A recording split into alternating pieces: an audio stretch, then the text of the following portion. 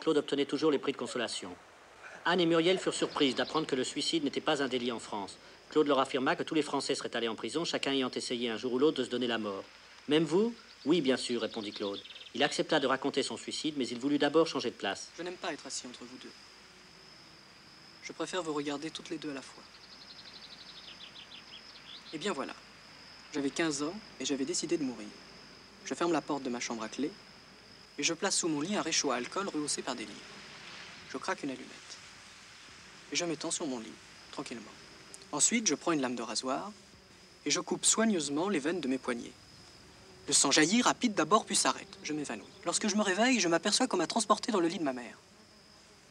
Mes poignets sont bandés et ma mère est à côté de moi.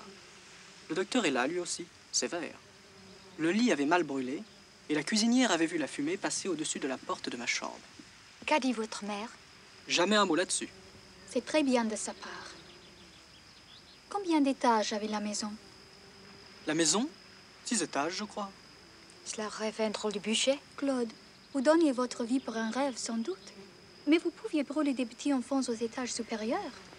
Je n'y avais pas pensé.